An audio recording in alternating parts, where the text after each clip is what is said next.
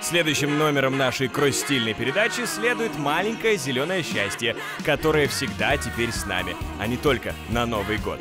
Черт его знает, чем наши сограждане прониклись больше. А, вот эта вальяжная манера исполнения, ее глубоким каким-то спокойствием. Она же такая спокойная девочка и очень жизнерадостная при том. Певица Елка родилась в Ужгороде. Там же начала шутить в местном КВН и петь в группе B&B. Как-то группу услышал отец всея русского рэпа, глава Bad Balance Влатвалов.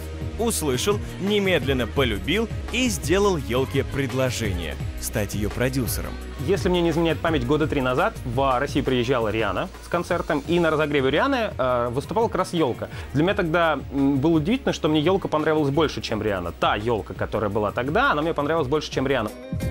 С тех пор Елка записала три студийных альбома, получила премию «Золотой граммофон» и изменила хип-хопу с, ну, вы догадались, крошки, с рокопопсом, конечно. Девочка студентка, сладкая конфетка, милый голосок, звонкая монетка, птичка перелетная, девочка студентка, глазками стреляет метко.